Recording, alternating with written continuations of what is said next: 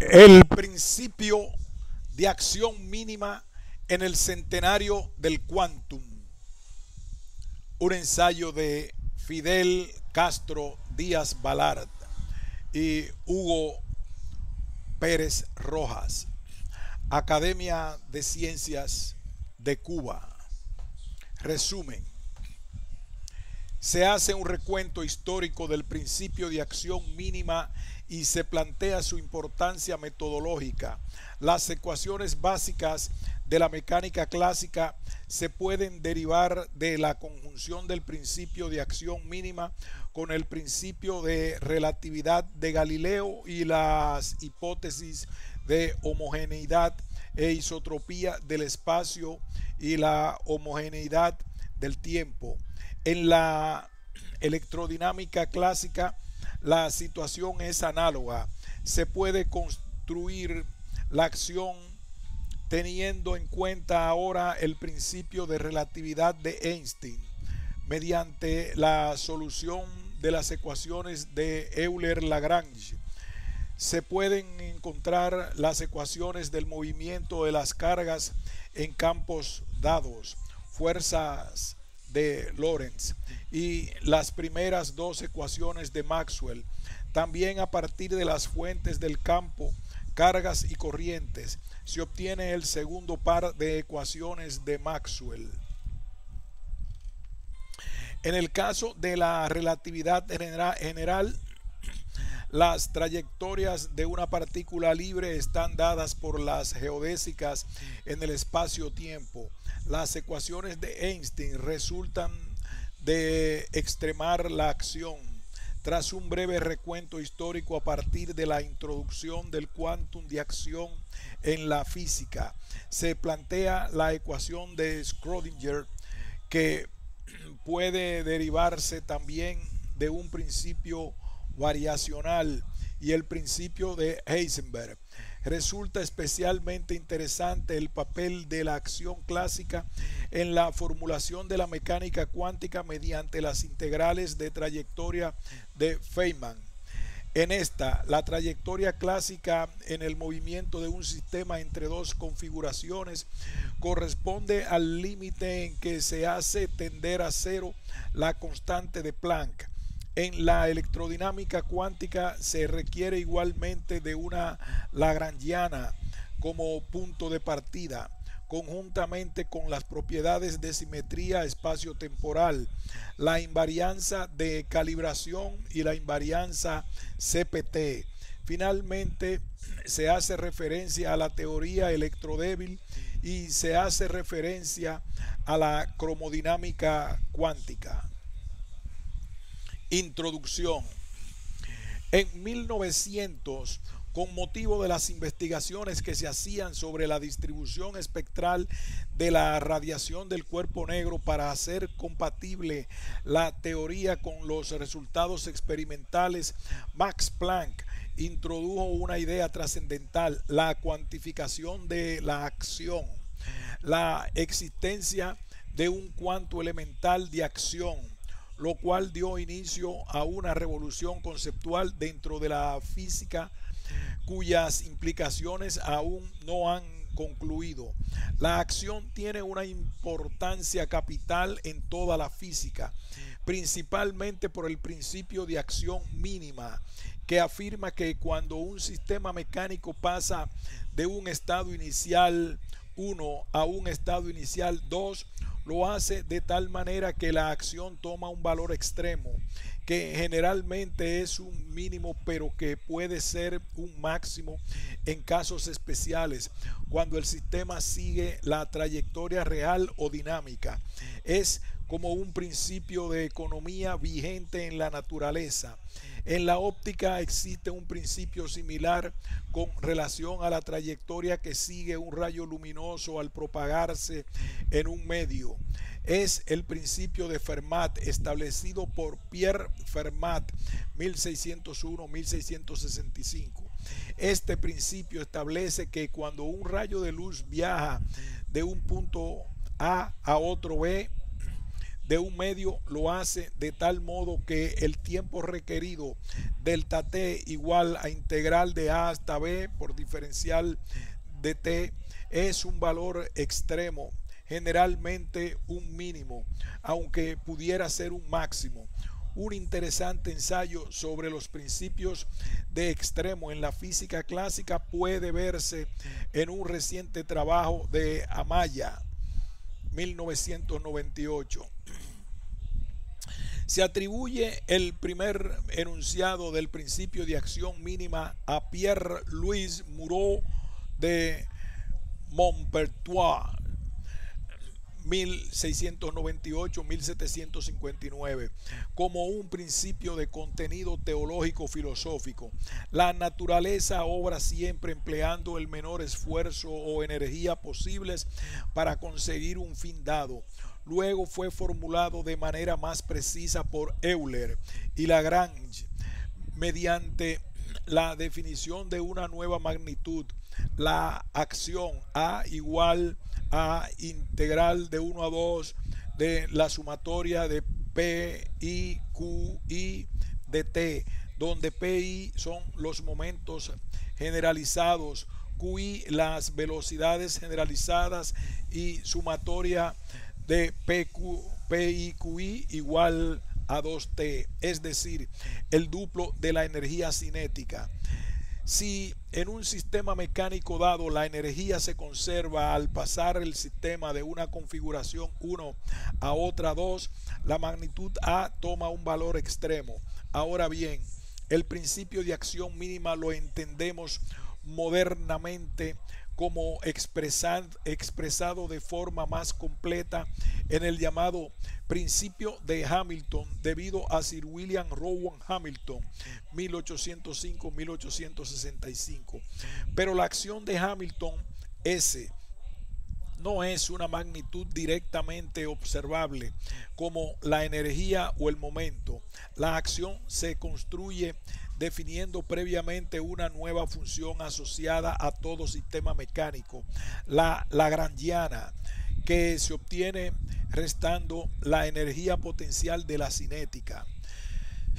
Entonces, la acción se define eh, como L igual T menos B y S igual a integral L de T y entre los instantes T1 y T2 es igual a eh, S función de T1, T2 igual a integral de T1 a T2 L de T.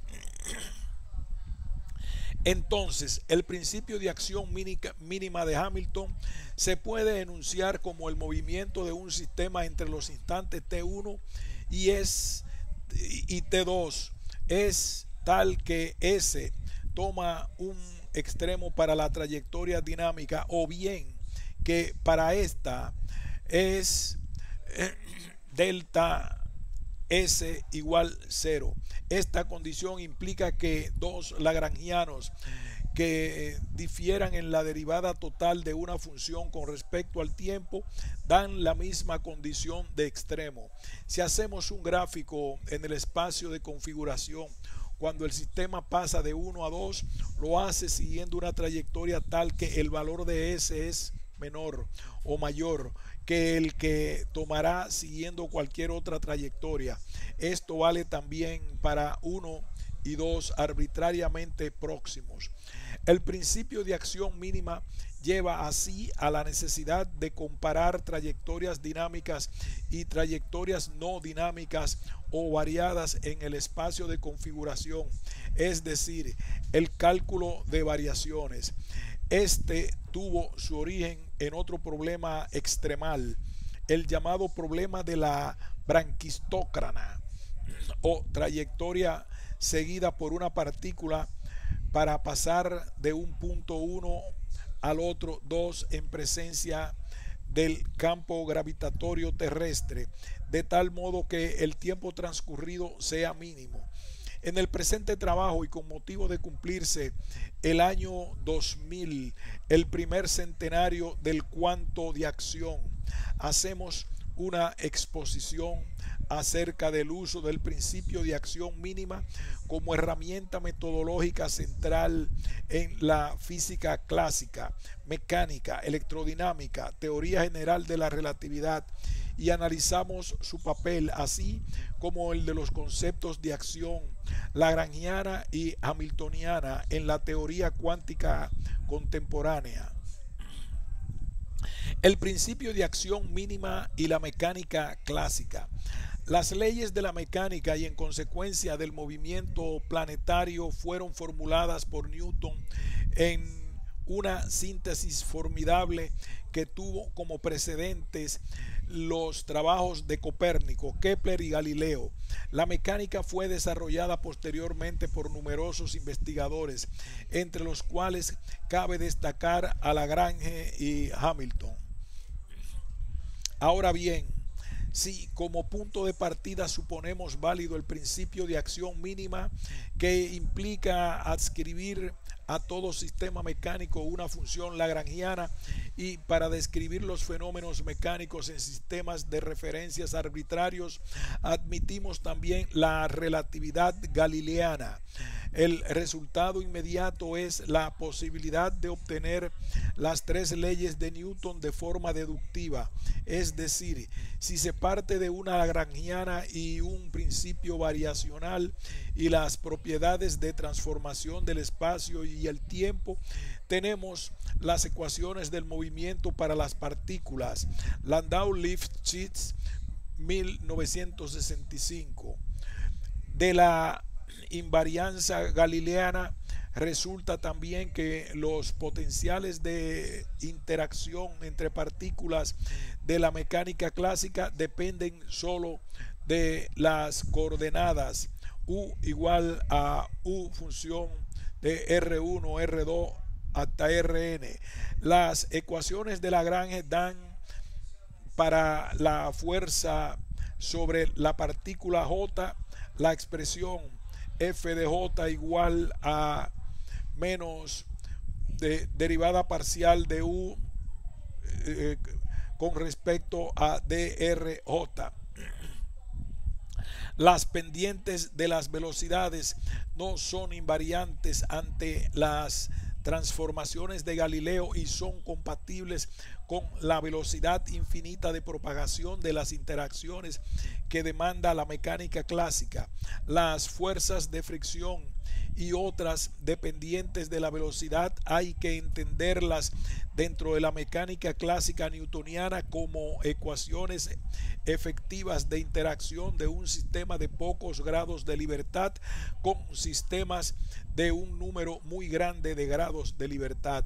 Supongamos que la lagrangiana depende de las coordenadas y velocidades generalizadas Q y Q y si se plantean las condiciones para que la acción sea un extremo, o sea, que la variación de la acción eh, delta S igual 0 o que la derivada funcional derivada de S derivada de Q función de T igual 0 para un sistema que tiene un conjunto de I igual 1, 2, n grados de libertad, se obtiene n ecuaciones diferenciales para la función lagrangiana L que se llama que se llaman ecuaciones de Euler-Lagrange.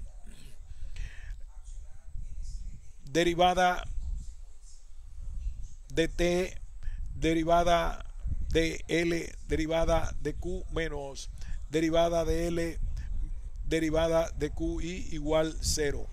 Las coordenadas generalizadas pueden ser, por ejemplo, el radio vector ρ y los ángulos teta y phi y las velocidades generalizadas eh, b de ρ igual a derivada de p con respecto a t, la velocidad angular b su 0 igual a derivada de teta con respecto a t, etcétera. La, se definen el momentum generalizado como derivada lagrangiana eh, eh, con respecto a QI igual a PI. Para una partícula libre se mueve en la dirección X con velocidad V. Se deduce entonces que la lagrangiana es L igual a un medio la masa por la velocidad al cuadrado. Pero con L no depende explícitamente de X, la fuerza aplicada es cero y resulta masa por derivada de la velocidad con respecto a t igual cero cuya solución es v igual constante y de ahí resulta la primera ley de Newton.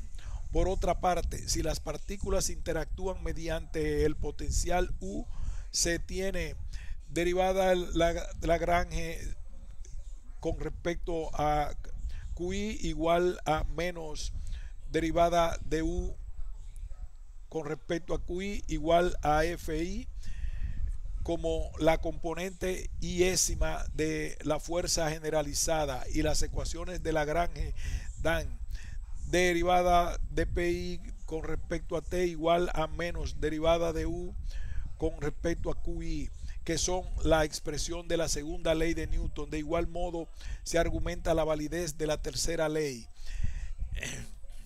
Por otra parte, las propiedades de simetría de la lagrangiana ante la homogeneidad e isotropía del espacio y la homogeneidad del tiempo resultan para un sistema mecánico aislado respectivamente.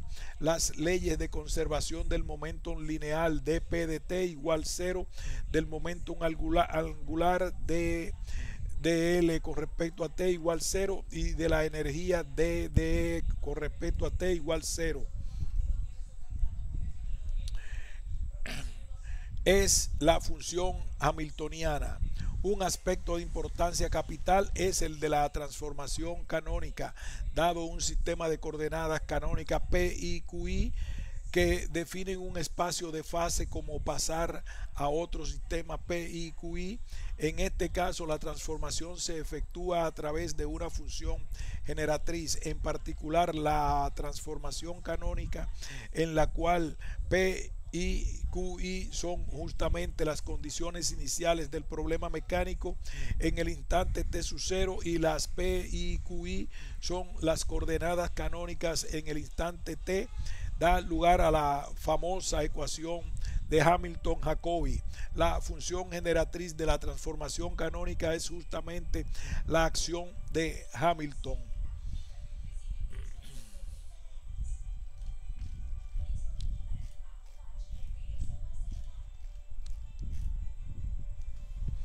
El principio de acción mínima en la teoría clásica de campos.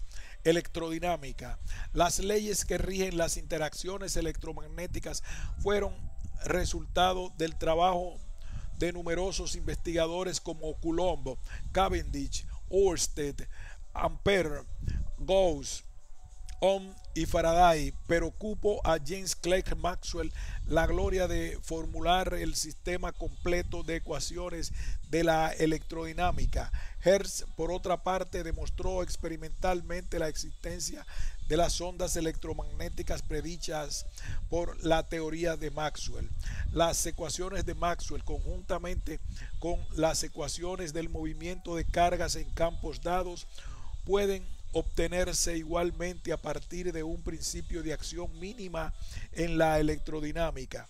Las interacciones electromagnéticas dependen de la velocidad de las partículas. Las ecuaciones de Maxwell no son invariantes ante las transformaciones de Galileo. Un nuevo principio de relatividad fue necesario en la física, el principio de relatividad einsteiniano, que estableció la simetría espacio-temporal, es decir, la idea del espacio-tiempo y la invariancia del intervalo cuatridimensional entre dos eventos ante la ante transformaciones de Lorentz. Ahora, las ecuaciones que relacionan las magnitudes físicas satisfacen el principio de covarianza, es decir, mantienen su forma ante transformaciones de coordenadas cuatridimensionales.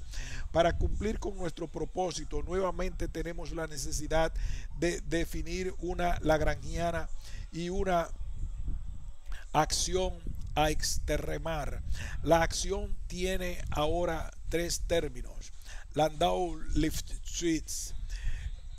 un primer en primer término SDP para las partículas libres, un segundo término SDI que da cuenta de la interacción de las partículas con el campo electromagnético y que junto con el primero permiten encontrar las ecuaciones del movimiento de las partículas en campos electromagnéticos dados y un tercer término, término SDC que contiene la acción propia del campo electromagnético. Combinando el segundo y el tercer términos obtenemos las ecuaciones que dan los campos electromagnéticos en función de las fuentes del campo, es decir, de las cargas y corrientes.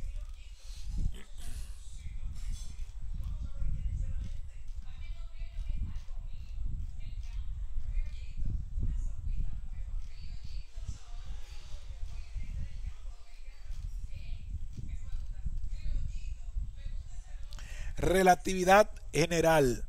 La teoría general de la relatividad puede entenderse como la combinación del principio de equivalencia y de covarianza. Es costumbre distinguir entre dos principios de equivalencia, uno débil y otro fuerte. El débil establece la igualdad entre las masas inercial y gravitacional. El principio de equivalencia fuerte establece que en todo campo gravitacional la caída libre de un elevador lo convierte localmente en un sistema en el cual las leyes de la física serían las mismas que en la relatividad especial, es decir, en un sistema inercial. En el, el, caso es idéntico para un satélite artificial en el cual se produce la ingravidez como consecuencia de que el satélite está cayendo continuamente hacia la Tierra durante el recorrido de su órbita.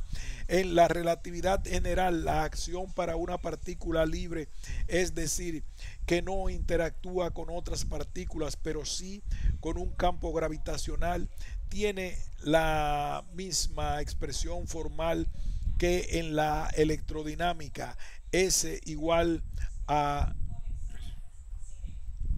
menos mc integral de diferencial de S, pero ahora el intervalo elemental se define en una métrica curva.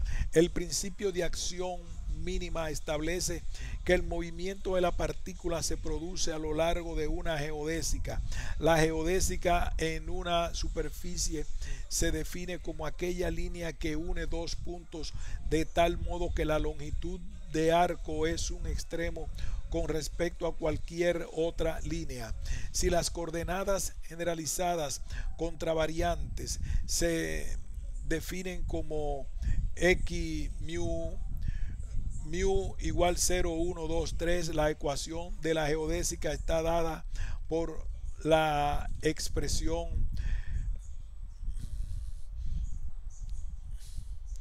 donde son símbolos de Christoffel que no se anulan cuando la métrica del espacio-tiempo es curva, como ocurre en presencia de un campo gravitacional. Si se resuelven estas ecuaciones para un campo gravitacional central de simetría radial, se encuentra que son trayectorias en forma de roseta. Por ello, los perihelios de los planetas alrededor del Sol precesan y este efecto es más notable para Mercurio, pero ocurre aunque insignificante también para los demás planetas.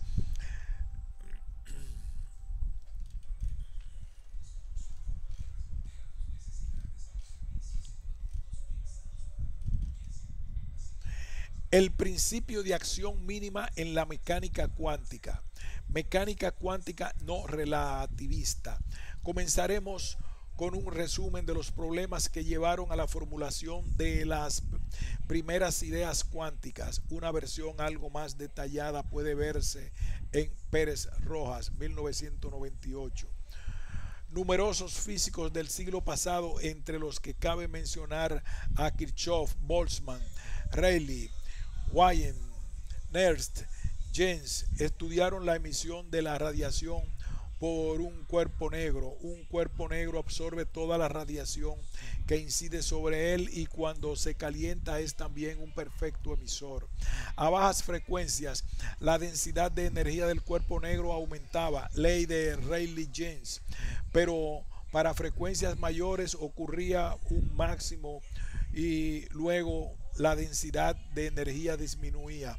Wayne dio una ley empírica que describía bastante bien la conducta para altas frecuencias, pero para conciliar las predicciones de las leyes de Rayleigh-Jeans y con las de Wayne, Planck introdujo una hipótesis revolucionaria que la radiación se emite y absorbe por los cuerpos de modo discontinuo.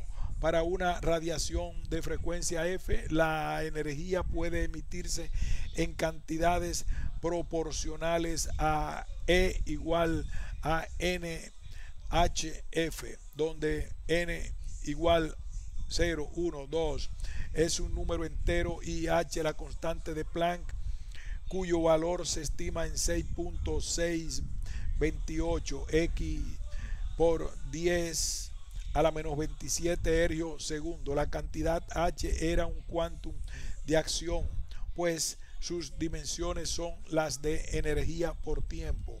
A partir de esta hipótesis, Planck obtuvo la ley para la densidad de energía del cuerpo negro que interpolaba las leyes de Rayleigh-Jeans y de Wien y era enteramente compatible con los resultados experimentales, pero la hipótesis de Planck tenía un elemento nuevo que el propio Planck no admitía y era que desembocaba en un retorno parcial a la hipótesis corpuscular de la luz.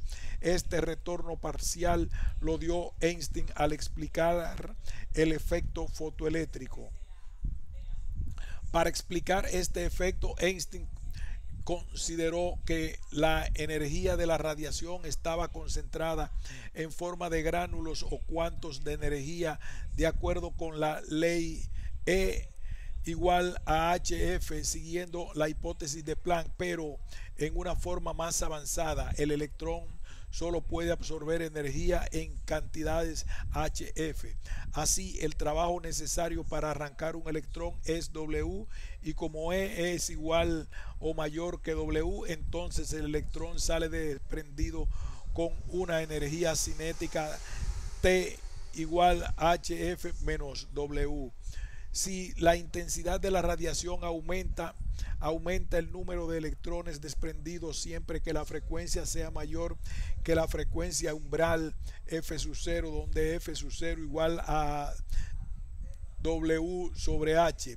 Para frecuencias menores de F sub 0, por muy intensa que sea la radiación, no hay electrones desprendidos, pues T sería negativa. La idea de Einstein significó un retorno parcial a la hipótesis corpuscular de la luz. Fue un retorno parcial porque los gránulos de luz o fotones tienen una energía proporcional a la frecuencia, propiedad ondulatoria inherente a la nueva visión del micromundo que con los trabajos de Planck y Einstein comenzaba su existencia la teoría cuántica. En 1911, el físico neozelandés Ernest Rutherford bombardeó una lámina de oro con partículas alfa y llegó a la conclusión de que los átomos están formados de un núcleo masivo cargado positivamente alrededor del cual se mueven los electrones en forma similar a un diminuto sistema planetario. Pero he aquí que parecía entonces una contradicción con lo que indicaba la teoría electromagnética. El modelo planetario sugería que los electrones giraban alrededor del núcleo, pero en tal caso los electrones estarían perpetuamente acelerados y de acuerdo con la electrodinámica, una carga acelerada debía emitir radiación, con lo cual perdería energía de un modo continuo y se precipitaría al final al núcleo. Esta emisión continua de energía daría lugar a espectro continuo.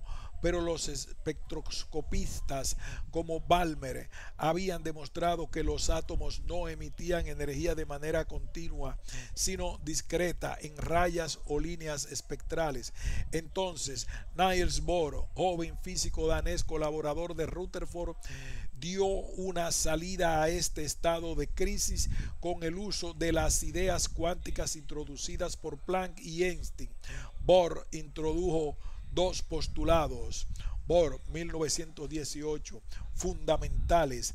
A. El electrón no puede ocupar cualquier órbita alrededor del núcleo, sino solo aquellas en que el momento angular orbital del electrón es un número entero de veces el número h sobre 2pi y el electrón no emite radiación mientras está en tales órbitas que se llamarían estacionarias. B. Siempre que la energía radiante es emitida o absorbida por un átomo, lo hace en la forma de cuantos completos HB y la energía del átomo varía en esa cantidad. Es decir, si EI y EF son las energías inicial y final del átomo que emite radiación, se cumplirá EI menos EF igual a HB.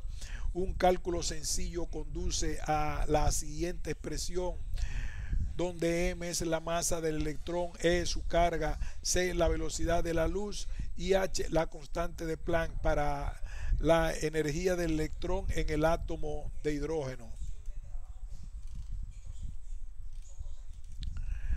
A Luis de Broglie 1892-1987, le, se debió luego la idea de que si la radiación tiene comportamiento dual como ondas y corpúsculos, las partículas del micromundo tales como el electrón deben manifestar propiedades ondulatorias, es decir, si tienen la relación entre energía y frecuencia E igual a h v debe haber una relación entre momentum y longitud de onda para una partícula P igual a mb igual a h sobre lambda. Esta fue una mera especulación de De Broglie en 1923-1924 basada en la idea del fotón de Einstein que fue confirmada experimentalmente por Davison y Germer en 1927 al comprobar los fenómenos de difracción de los electrones en cristales.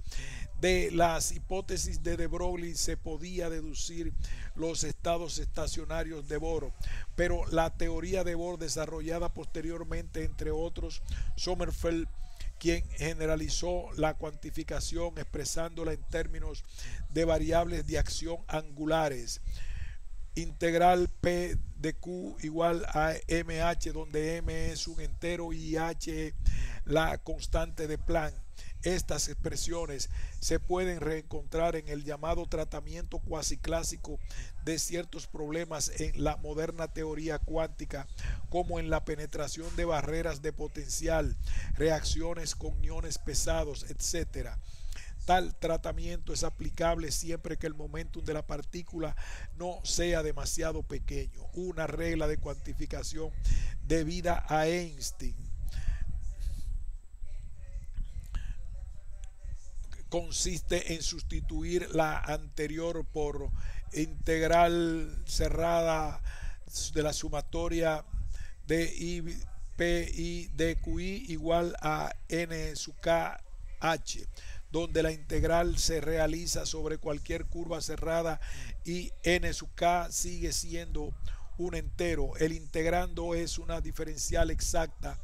Integral cerrada diferencial de U igual a delta de U. Si la acción W fuera una función univaluada de las QI, se tendría delta W igual 0. Como W es multivaluada, la regla de Einstein establece que su variación a través de una trayectoria cerrada es un múltiplo entero de h. En la teoría de Bohr-Sommerfeld estaba presente la idea de la cuantificación de la acción como un elemento básico, Sommerfeld 1916, pero la cuantificación de Bohr-Sommerfeld no pudo dar cuenta de muchos fenómenos como los espectros moleculares. Hacia 1925, Heisenberg, Jordan y Bohr trabajaban en una mecánica matricial que se apartaba de las ideas de Bohr y daba resultados compatibles con, con el experimento. Pero en 1926, Erwin Schrödinger dio un paso trascendental con su famosa ecuación que originó el principio de la nueva mecánica cuántica. La idea que condujo a Schrödinger hasta su ecuación final se puede esbozar en los siguientes términos. Como vimos antes, se puede demostrar que existe una analogía entre las ecuaciones que rigen la mecánica clásica y la óptica geométrica entre la ecuación de Hamilton-Jacobi y la ecuación eikonal. Entonces,